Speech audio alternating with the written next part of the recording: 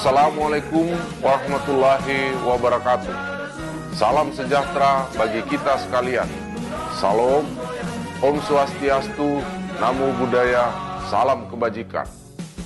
Dalam momentum yang penuh dengan kehormatan dan kebanggaan ini, saya, Jenderal Polisi Dr. Andes Idham Asis MSI, Kepala Kepolisian Negara Republik Indonesia, mengucapkan selamat hari ulang tahun ke-74 kepada seluruh prajurit dan keluarga besar Korps Marinir di mana pun saudara berada.